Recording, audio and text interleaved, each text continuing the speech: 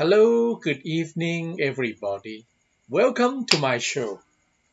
Of course, English in the garden. I'm not in my garden this evening, but rather I am in my library. As usual, I have an idea to share with you. An idea about or on English language teaching and learning. And tonight it's very simple, an idea on taking notes.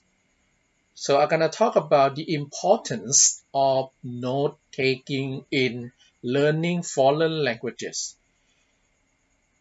I mean, when you read something or when you watch television programs or read articles or anything on the internet, it's important to, you know, to just write down on your notebook or your mobile phone or whatever you have and do some revision afterwards.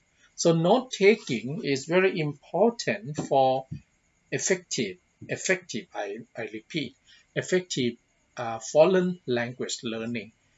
Uh, do not just let go, you know, do not just trust your your brain or your memory. Oh don't worry i can take uh, mental notes of that.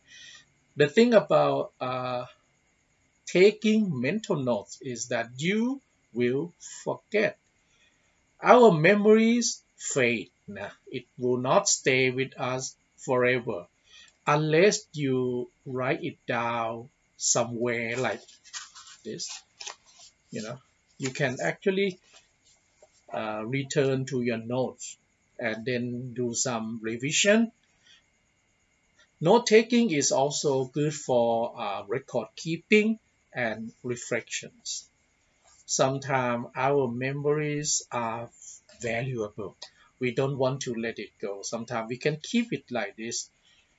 And it's really useful for language learning, believe me. You will learn a lot by taking notes. You can take notes of the new uh, idiomatic expressions that you have learned, some grammar points or some ideas or some feelings or impressions.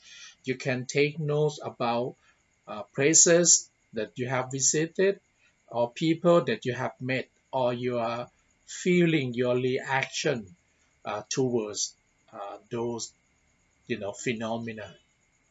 So I encourage you to learn the English language by reading and then or talking to people or whatever and then you should take notes. This is very important. Okay? Again i'm Janpha Thadphoothon and this is my show English in the Garden. And tonight I have stressed the importance of note taking in language learning. I'm doing it on a regular basis. It's something that uh, you have to do it on a regular basis to form a habit of taking notes.